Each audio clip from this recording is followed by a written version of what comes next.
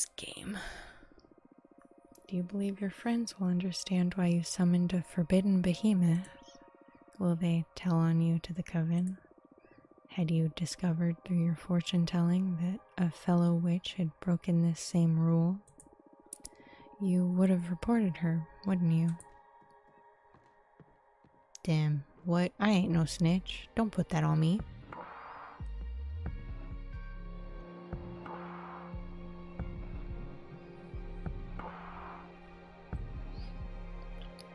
Ready for more? Yep. How have you found the ceremony so far? Do you want to review any elements before continuing? Hmm, I don't think so. It was pretty basic stuff. Understood. What's the matter? You're not as chipper as usual. Mm, yes, I'm sorry. Fire is usually my favorite lesson, and it marks the final step before our contract becomes effective, which I'm looking forward to. But I have a bad feeling about this.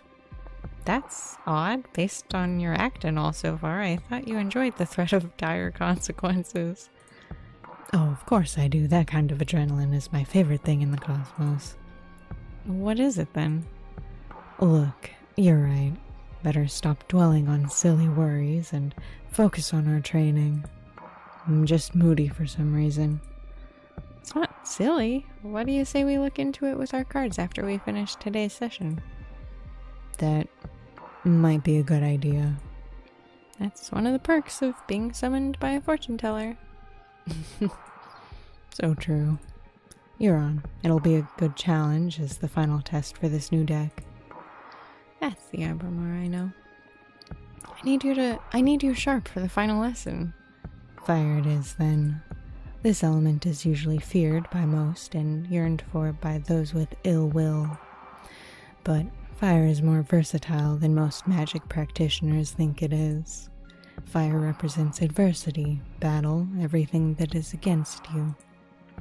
Fire is challenge, intimidation, and the fuel of every battle. Fire is your wrath. Fire is conflict. Exactly. But don't just dwell on the negative aspects of that definition. Conflict also means growth. The only time fire is bad is when you're on the losing side. And even in defeat, there's a great deal of growth. We're the living example of that. Master your fire, and you'll conquer anything that the cosmos throws at you. To tell you the truth, I'm more intimidated by water.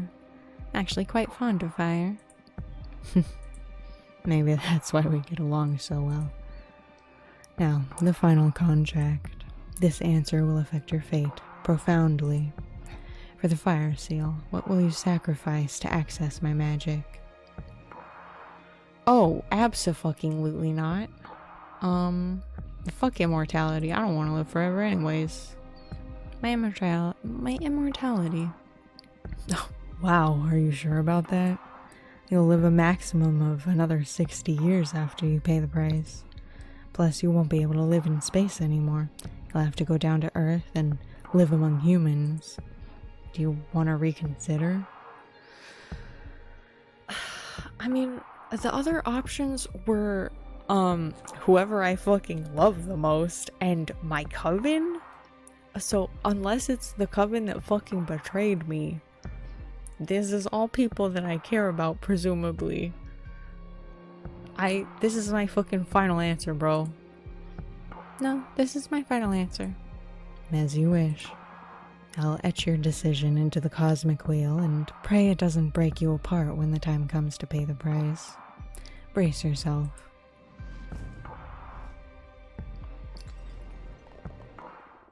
Ugh, can't breathe. Ugh, pain, it burns. It's breaking my atoms apart. I fucking love it. Uh, uh, help. Fortuna. Uh oh. Oh shit.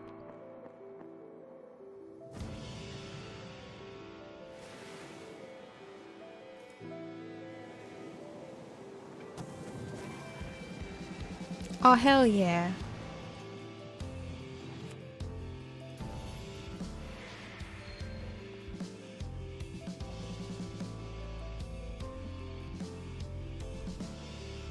I love this. I love this so much.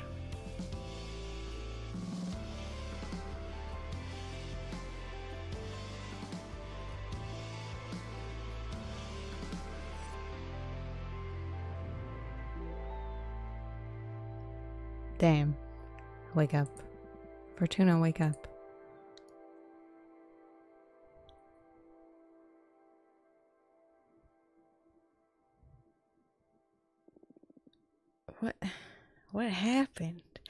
Was like an intro. It was really cool. Sorry, I had to wake you up. You've been asleep for a couple of days. You dropped dead after we sealed the fire contract. Thought it might be too much, so I let you rest. I feel dizzy. I had the weirdest dreams. Oh, yeah? What about? Can't remember, but it felt premonitory. I feel bad for waking you up, but you have some business to attend to. What? What do you mean? Look at the window. You've got a visitor.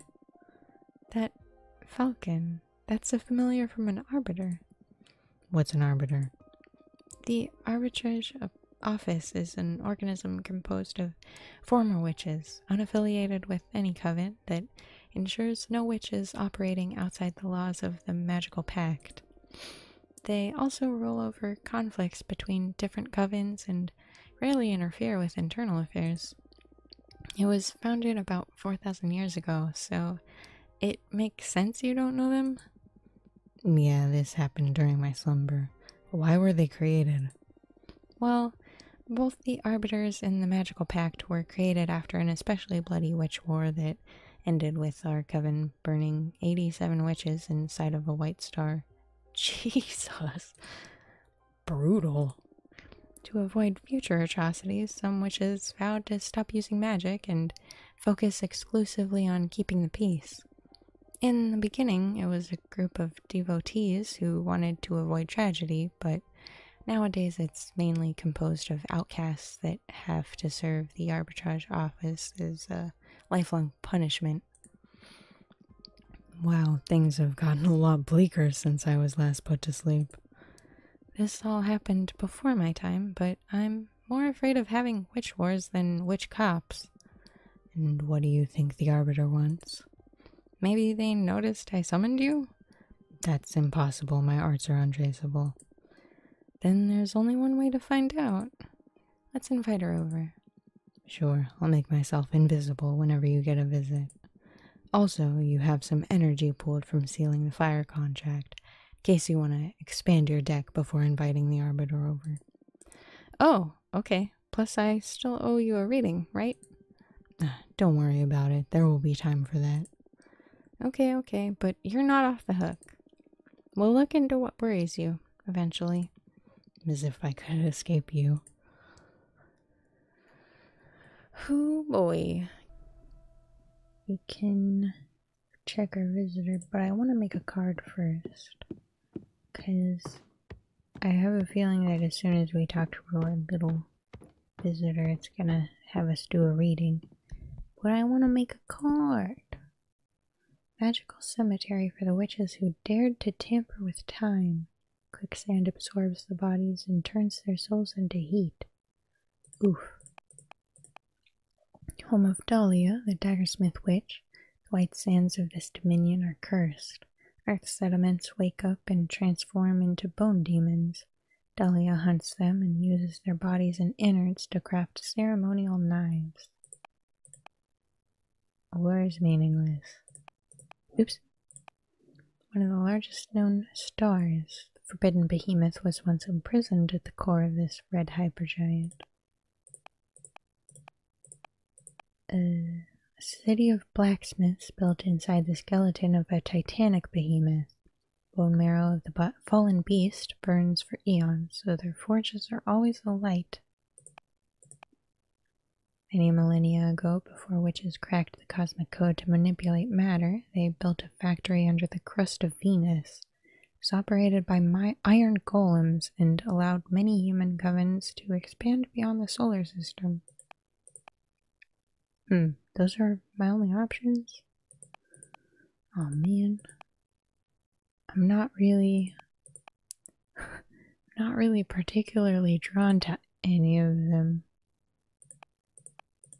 Uh, mm,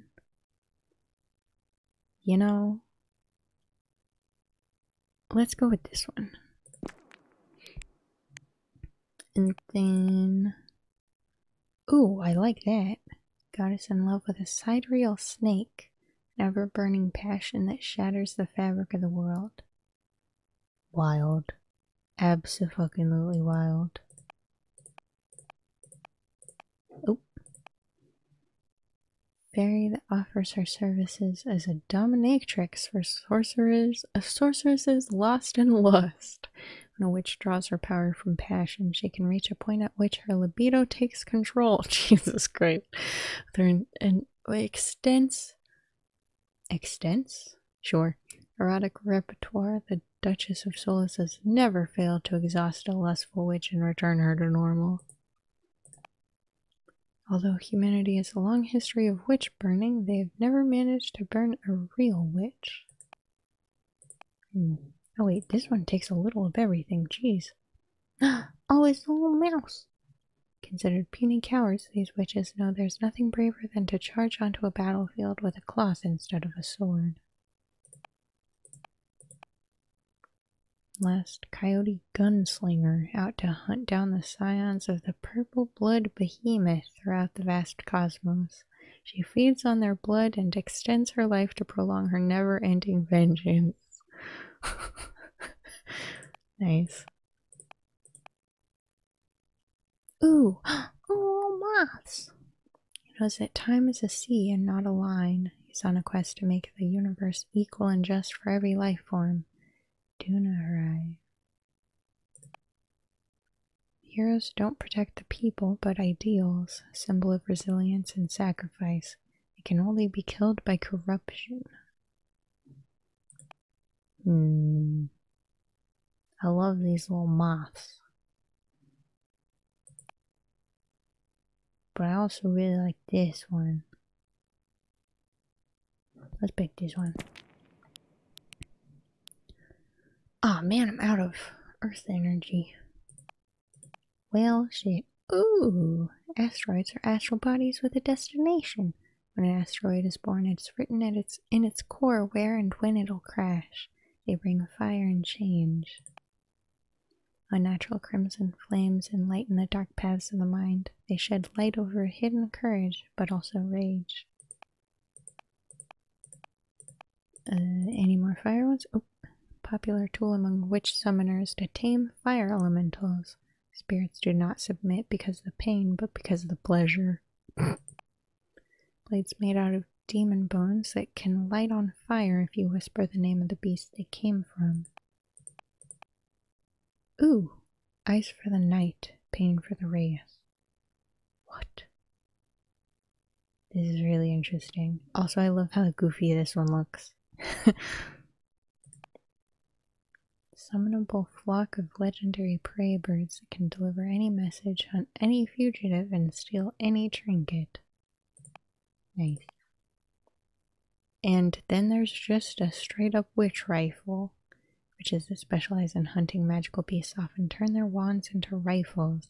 These weapons are able to shoot any magic spell sealed inside a sapphire bullet. Hmm. Where'd my music go, by the way? I liked the the chill card building music. I'm sad that it's gone. Um, let's do this one. Oh, you're really not gonna give me back my music, huh? That's a ding ding shame. Um, where do I want to put this?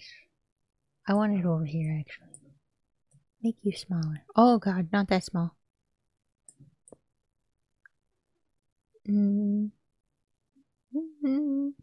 Yeah, put it like that. This. This. Put this down here. Oh, you gotta go forward. Go up. There you go. Nope, nope, nope. There we go. Wait.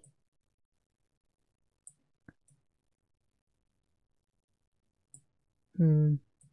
Still not quite right. Mm, there we go. Um, I could give you another arm. Whoops.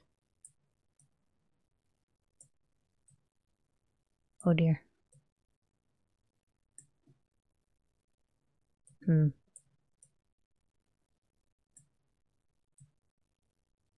I feel like I'm not getting the proportion on this right.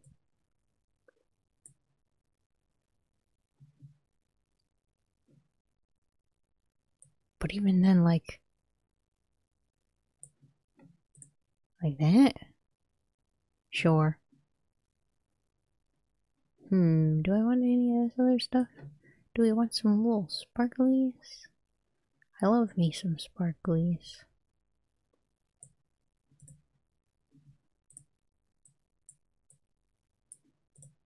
Sure. And then we'll put a little star here. Just a little one. Oh god, I can't make it smaller. No. No. No! Let me make it smaller. Ah, shit. Oh, there we go. Great, wonderful. I just wanted a little teeny one.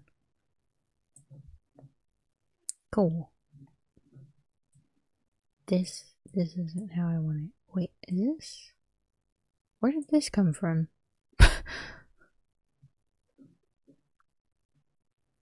hmm.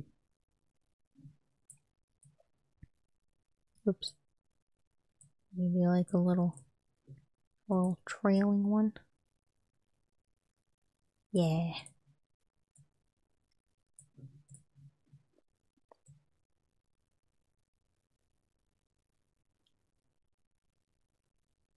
Yeah. There we go.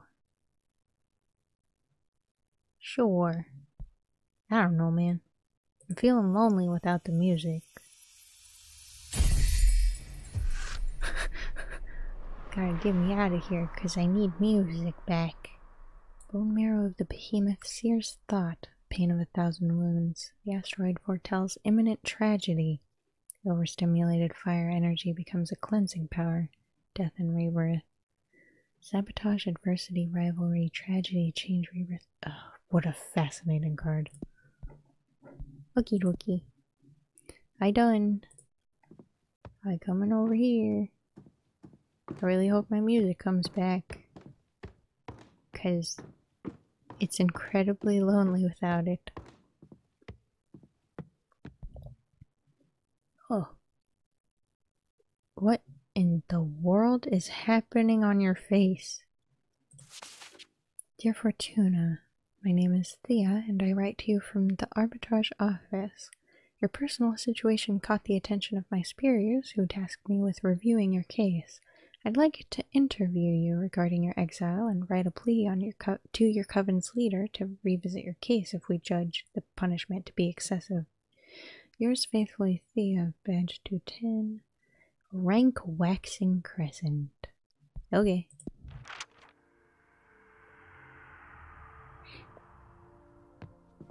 Oh, good, you did come with music. Uh, thanks for having me. My name is Thea, Arbiter Badge 210. Thank you for coming, Arbiter. Oh, that's me. Thanks for coming, Arbiter. Really appreciate the office paying attention to my case. I've been isolated for 200 years so far. That's precisely why I'm here. The arbitrage office recently discovered your situation and we're worried it may go awry for the community.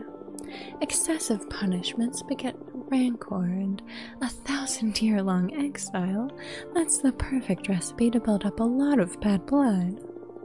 And we all know what a witch can do with a surplus of bad blood. But I'm here to help you. Let me know about your case, and we'll look for a way to make you feel better. Thanks. I already had a meeting with Adana, the leader of your witch clan. Adana told me that you predicted the fall of your coven. She explained to me that she didn't punish you for that, though. She punished you because of how you handled it. Apparently, plunged the coven into chaos, giving ill advice to any witch, telling them to prepare for the end times. And those actions almost destroyed the coven before its time. So she decided to exile you and deprive you of your deck so you can meditate on the range and meaning of your powers. Now that's the official version. I'm interested in what you have to say. Do you think what you did was wrong? I mean, not really. Hmm. The people deserve to know. A premonition that grave should be disclosed to the community. You don't agree with your leader's judgment. That's not dangerous per se, but it's a bad ingredient to add to the pot of imprisonment. What would you have done then if the end were nigh? Would you'd like to know, right? I shouldn't give my opinion. I have to act as a neutral party, Fortuna. Next question. Do you think your punishment is fair? oh, why? Absolutely not. Way too excessive. I understand. Hardly anyone would accept this kind of sentence. How are you coping with centuries of isolation?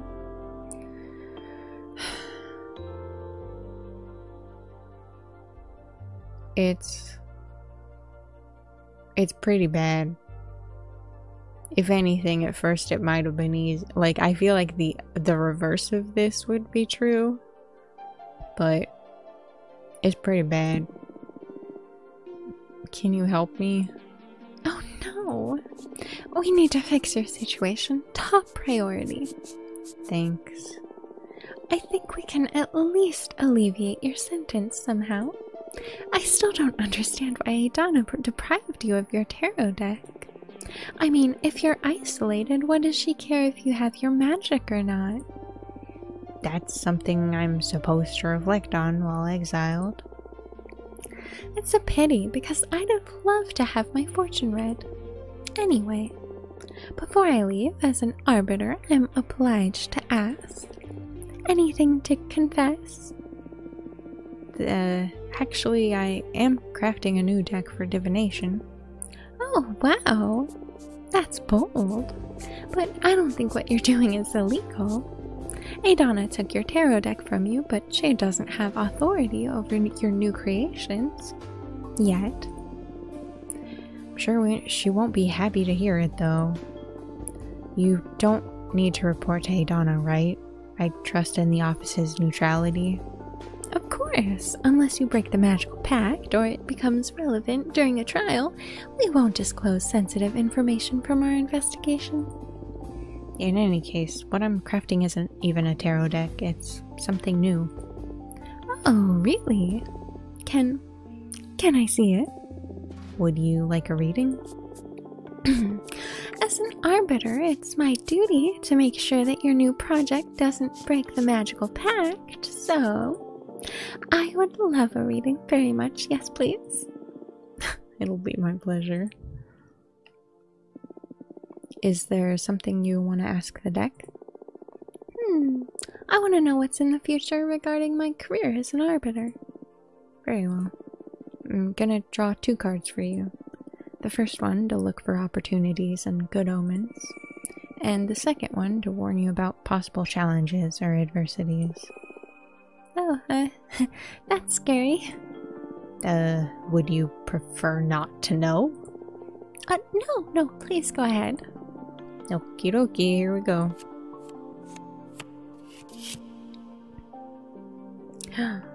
Chambers of the Opera, opera House make all meaning resonate. See knowledge. Guide discovery, justice, predestination luck. I mean, that sounds on brand. Boop. Make a very important rest. It'll be someone from my coven. Whoa, whoa, whoa. Gonna play a crucial role in future politics within the witch community. Interesting.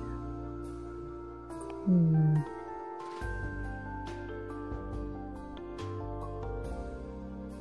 I think we'll go with this one. You're gonna play a crucial role in future politics within the witch community. What? I shouldn't. We arbiters are a neutral party. I mean, maybe it's something that falls into your line of duty. Maybe your splendid job as an arbiter puts something misshapen back on track. Ah, that's great to hear. This is all speculation at this point, but what the cards let me see clearly is that it's specifically you who will play a crucial role in the future. Oh, the pressure. Okay, okay. I'm looking forward to it.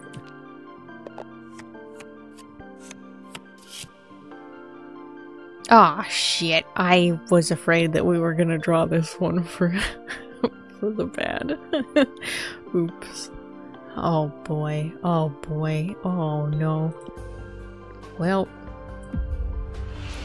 Oh my god. Oh no. Oh no, these are all bad. Oh no. Holy shit.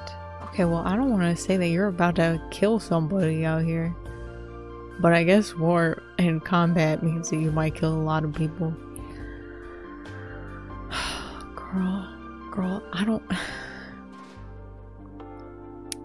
well, I see war.